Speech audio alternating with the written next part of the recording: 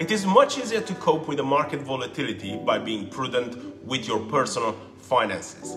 Investing can be an exciting and rewarding experience, but it is difficult for investors to sleep soundly in times of high volatility, especially when their personal financial situation is put at risk by their investments. Emotions can get the best out of almost any investor.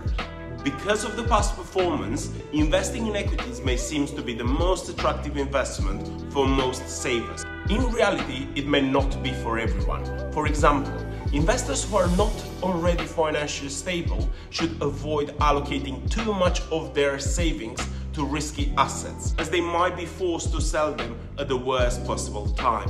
Example, when markets have just undergone a sharp correction or even a crash. The so-called barbell strategy is therefore an excellent approach to limit the risk of emotionally jeopardized long-term investment performance.